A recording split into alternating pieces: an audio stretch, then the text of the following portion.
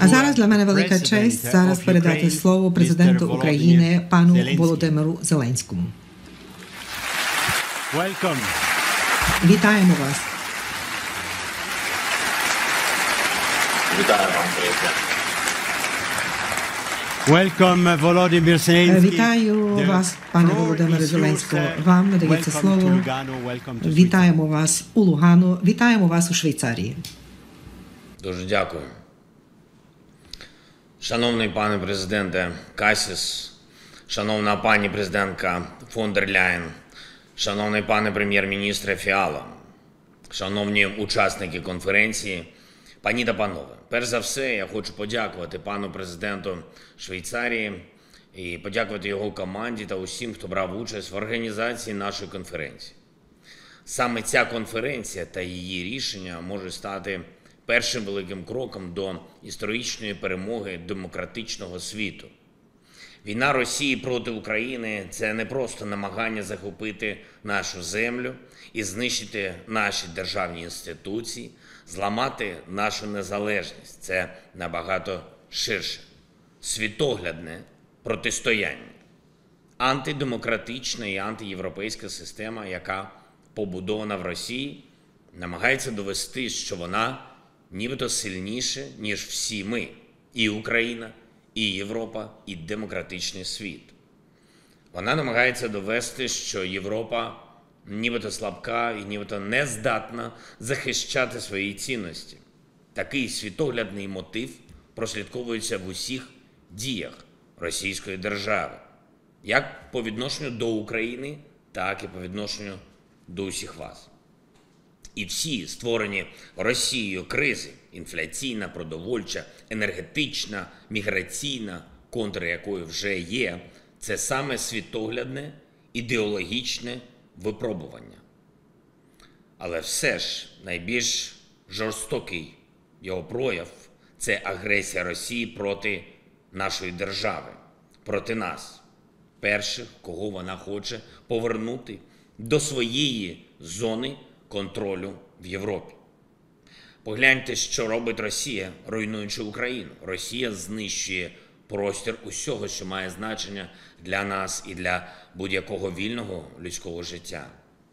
За чотири місяці повномасштабного вторгнення в Україні знищено 2102 освітні об'єкти.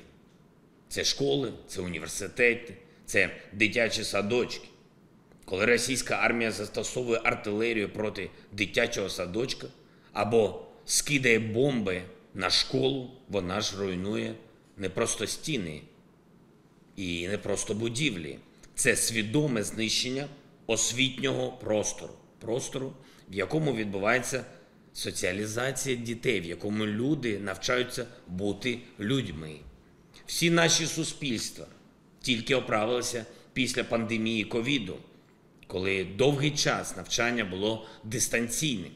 Тільки но все почало відновлюватись, тільки но діти могли опинитись у звичному просторі спілкування, просторі друзів, навчання. Як прийшла Росія і своїми ударами намагається сказати, що у нас взагалі не буде цього простору нашої освіти. Для чого Росії обстріли лікарень? Як взагалі вони можуть віддавати наказ на авіаційний удар по шпиталю або пологовому будинку? Це маніфестація Росії, що вона нібито здатна знищити саму можливість цивілізації для України, базову гуманність, яка є в кожній нормальній країні.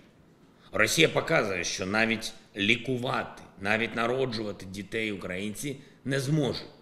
799 об'єктів медичної інфраструктури знищено від 24 лютого і до кінця червня.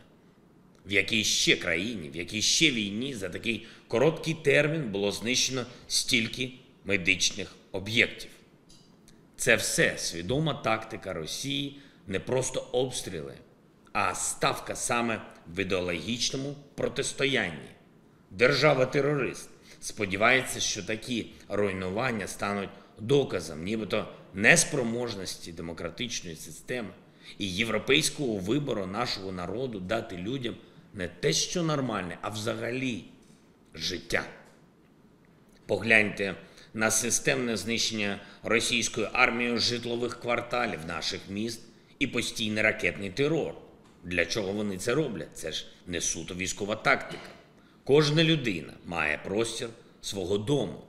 І це не тільки окрема квартира чи будиночок, це частина міста або сільської місцевості, де людина спілкується, людина працює, вона бачиться з друзями, кохає, виховує дітей, їздить до батьків. Саме для того російські окупанти розстрілюють з танків житлові будинки аби, або накривають міські квартали артилерією. Саме для того вони направляють ракети на будинки, щоб знищити увесь цей простір життя, щоб вбити в людях відчуття дому. Понад 12 мільйонів українців вимушені були стати переселенцями через цю війну. А скільки ж з них все ж таки повернуться додому, навіть якщо матимуть куди повернутися саме там, де жили раніше. Після такої жорстокої війни і таких варварських російських ударів для багатьох людей буде дуже складно знову знайти це відчуття. Відчуття справжнього дому. Агресія Росії все ще продовжується, а вже близько 80 тисяч об'єктів зруйновано. Це десятки мільйонів квадратних метрів площі. І коли ми бачимо такі втрати, ми повинні бачити не просто зламані стіни і не просто розбиту цеглу, не просто випалені коридори чи кімнати, а мільйони. Мільйони людських доль, які ніколи не будуть такими, як вони були раніше. Ми повинні бачити мрії, яких більше немає. Кохання, яке стало неможливим.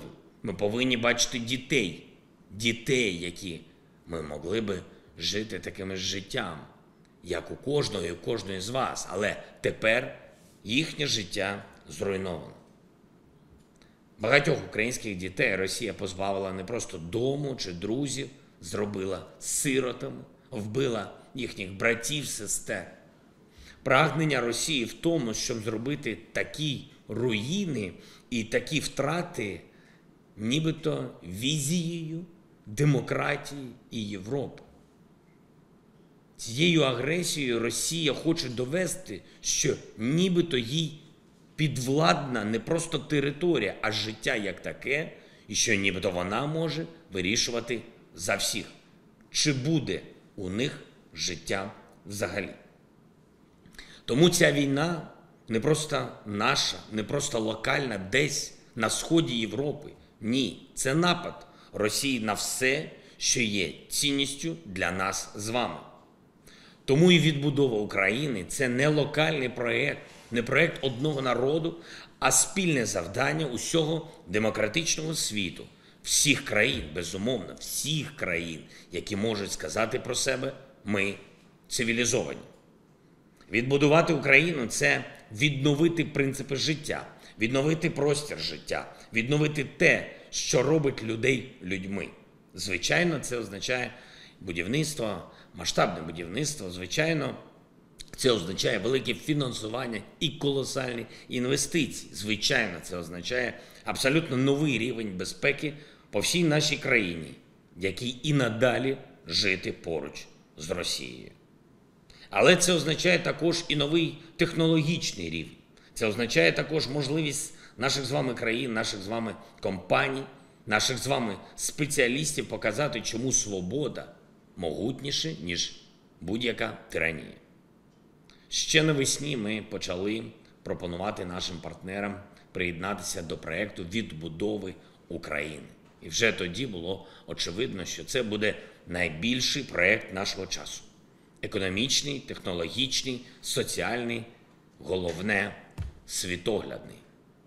І я вдячний країнам, які сприйняли позитивно наші пропозиції взяти шефство над регіонами, містами або галузями, які постраждали від війни. Зокрема, вдячний Данії за готовність стати шефом при відбудові нашого міста Миколаїв, вдячний Британії за інтерес до відбудови Київської області. І так само я запрошую всі країни цивілізованого світу, амбітні компанії та фахівців приєднатися до наших зусиль. Окрім всього іншого, це дозволить створити мільйони нових зв'язків в демократичному світі, в Європі, між нашими країнами.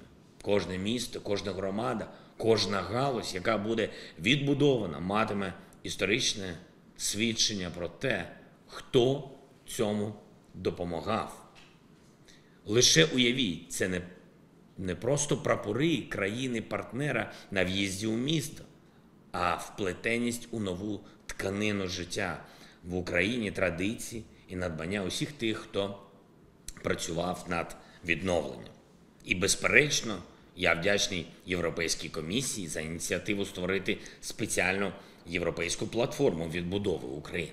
Однак всі ініціативи, плани, амбіції мають бути в єдиній системі, в якій не тільки потреби, але й відчуття українців будуть на першому місці. Тому Україна пропонує свій національний план відбудови, на фундаменті якого можна буде реалізувати кожну ініціативу, кожну ідею, а також повністю раціонально і саме в українських інтересах використовувати кошти, які будуть спрямовуватись на відбудову.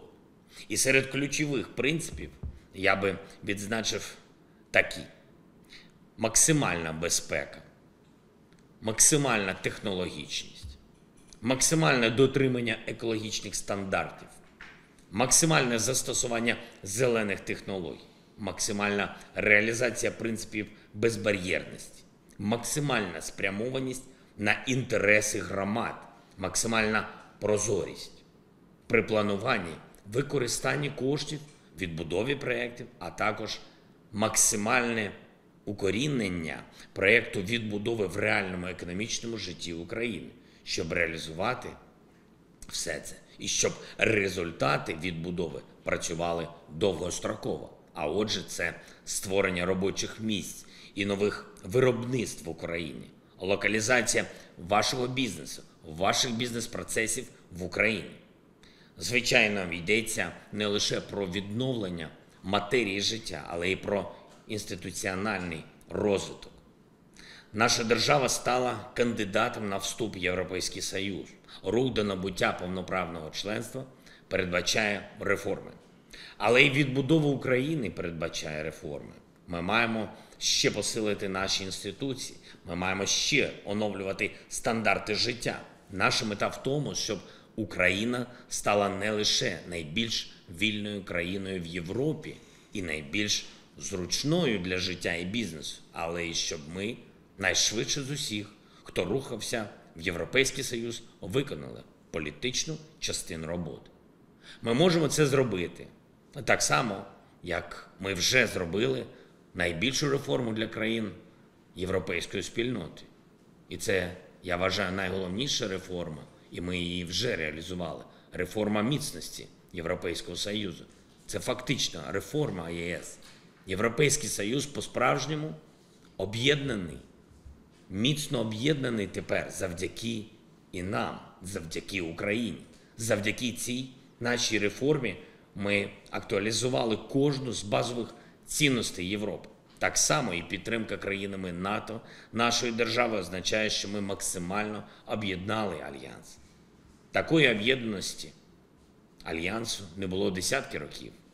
І відбудова України стане для нас усіх такою ж великою реформою, бо ми всі разом об'єднуємо демократичний світ настільки, що кожен побачить світогляд вільних людей завжди перемагає. Світ побачить, що ніхто і ніколи не зможе досягнути війною своїх цілей. Але зараз я хочу зробити також один дуже важливий, а саме локальний наголос. Нам потрібно діяти вже у цей час. Значну територію України ми вже звільнили. Це понад тисячу населених пунктів. Для значної території зберігаються виклики, а вже ж економічні, енергетичні, соціальні. Відновити шкільне навчання, забезпечити медицину для людей, дати переселенцям житло, гарантувати українцям роботу, захистити енергетику це все важливо зараз, саме зараз, особливо напередодні зими. Тому Україна представлятиме два рівні дій стратегічні. Це означає відновлення всієї країни, а також тактичний.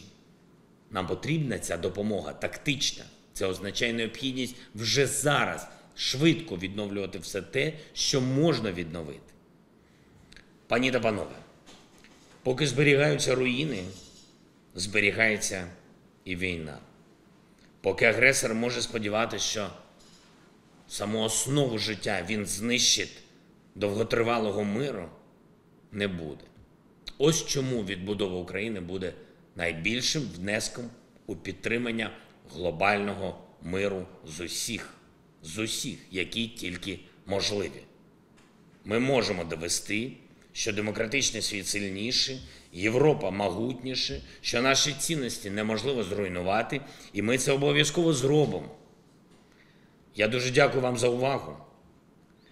Я запрошую вас, усіх, в нашу прекрасну державу, найкращу у світі, в Україну, щоб працювати разом, разом з нами. На самому початку виступу, шановний пане президент Кася сказав, що він бачить тут велику делегацію доволі велику, мені здається, пане президенте сказав. Я також, пане президенте, був здивований, що делегація дійсно доволі велика. І я хотів би чесно запросити деяких людей, яких я побачив через екран. Я, я їх не бачив всі ці місяці війни. Я дуже хотів би їх також запросити в Україну, бо у нас відбудова в Україні, відбудова нашої держави. Я просто хотів їм нагадати. Мені здається, це, це дуже важливо. Бо війна в Україні, ну, там, де ці люди працюють. Мені здається, я так дуже тоненько на, нагадав їм. Я ще раз вам вдячен. Слава Україні!